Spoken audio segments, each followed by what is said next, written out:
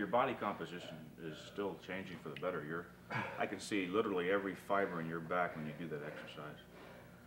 Everyone? Well, maybe a, a few obscure ones, Okay. ninety percent. No, seriously, your your body fat levels must be just about as low it- as they've ever been. Think. I'll get down to Clarence Bass's? Sea bass.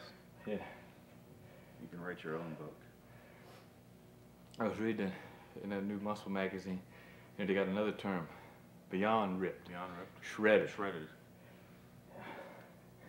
and it's diced, minced, and. uh, Yeah. Okay, on to the 10 degree chest machine. Enough of this levity. This is serious business here.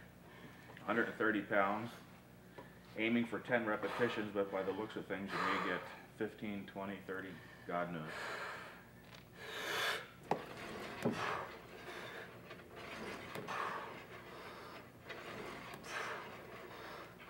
Strong again.